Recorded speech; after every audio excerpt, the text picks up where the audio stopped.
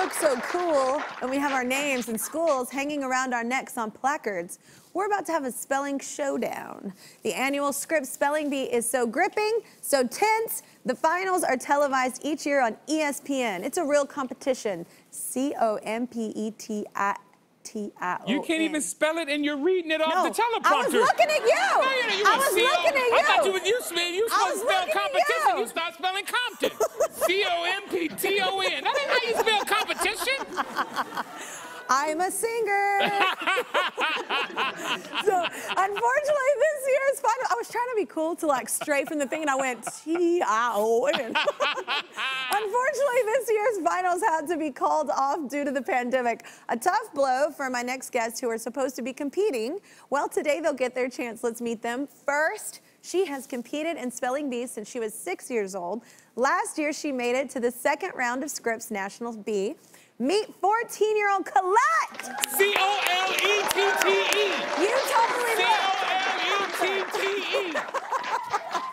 He's competitive. I like it, folks. Next, he's been competing in bees since he was in diapers and made it to the National Spelling Bee three times. Meet 11-year-old Akash. What's up? it's on the screen. Yeah. All right, so Colette, I'll start with you. When did you each um, realize that you were great spellers? Um, I realized that I had a talent for spelling in kindergarten when my teacher used to give me weekly spelling tests, and I got pretty much all of the words right. I remember spelling chrysanthemum correctly What? in kindergarten. I for uh, I, for a billion dollars, I'd probably not spell that right right now. Not at all. I, we, we both be broke. oh my gosh! And I know she's smart. You can tell she's smart because she said kindergarten. I know, I love it. She did. We just said kindergarten. I know. I'm worried about Colette. Oh, she's gonna be good. Okay, Akash, what about you? When did you know? Well, that is a really great question. My parents say that I first started to gain interest when I was about uh, between one and two years old. Um, I, we always used to go to the library, so there would always be this room uh, for all the children's toys, and one of those was an alphabet match, and I always went there. And then they discovered about the spelling bee, so they took me to my first spelling bee when I was two and a half years old. And yes, like you said, Kelly, I was still in diapers at that time. I uh, went through the written round and made it to the orals. So yes, they did actually announce on stage we got a diaper boy participating, which was quite funny. Um, and then, yes, Akash, this is only an then- hour long show. right. We love you, Akash. Wait, I, here's the lesson I have just learned, Akash. I am taking my children to the wrong library. Oh, his parents sent him to the hot library I early because they knew he was going to talk too much. I was like, they sent I him to love a place it. where he couldn't talk. Learn these words. We love you. Well, okay, the official Scripps was very sadly, for all those involved, called off uh, this year due to the pandemic. It was a tough blow for everyone who practiced so hard. Well, we didn't want all that hard work to go to waste, so we thought we'd give Colette and Akash a chance to compete. And it's not just for bragging rights, people, it's for cold, hard cash. We reached out to Brainiac Kids who are changing the game for kids' brain nutrition with yummy snacks that help build kids' brains into their teens. And they're giving the winner $5,000. This is the first annual Kelly Spellys.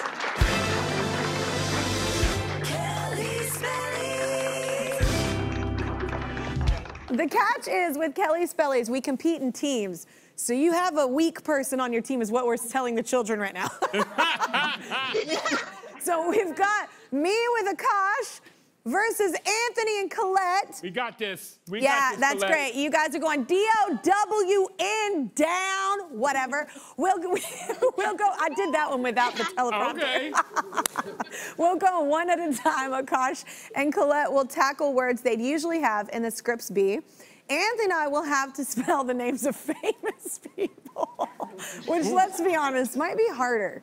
Here to host the Kelly Spellys, please welcome the official pronouncer of the Scripps Spelling Bee and the 1980 Scripps National Spelling Bee champion, Dr. Jacques Bailly.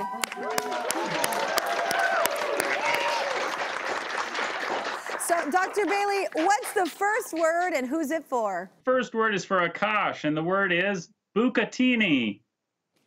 What's the word again? Bucatini. It's a long spaghetti-like pasta, but it has a hole down the center. Bucatini. All right, it's from Italian, right? That's correct. Latin to Italian to English. Bucatini. B U C C A T I N I. Bucatini. Ah! That mean you got it wrong! That mean you got it wrong! No! No! Well, at least I'm going to learn a word, a new word today. That's right, Akash. All right, next word. Next word is for Colette. The word is ramfeazled. Ramfeazled? Ramfeazled. It means exhausted. Colette, ask him to put it in a sentence. Yes, yes, that's just what I was going to say. Could you put it in a sentence, please? After a long day of studying all her spelling words, Colette was ramfeazled. Ramfeazled. He doesn't know how to spell it. Mm-hmm. Don't listen to him. R A M Feasel. F E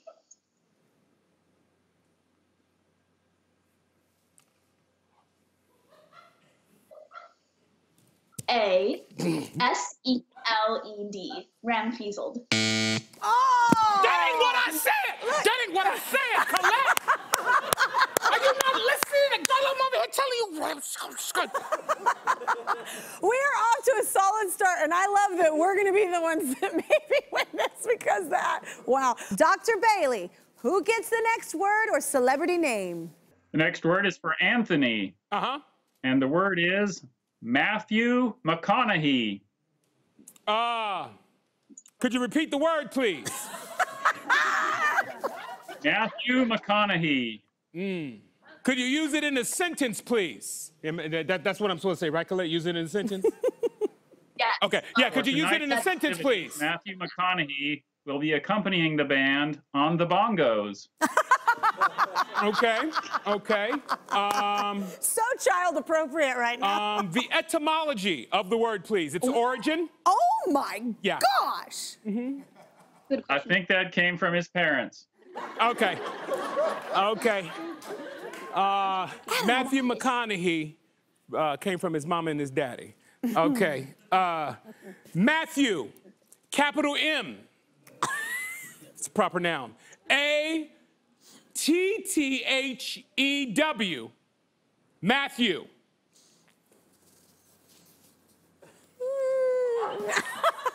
McConaughey. Oh, McConaughey. Oh, okay, McConaughey. Capital M, lowercase c, uh, capital C. Whisper in my ear whenever you got it.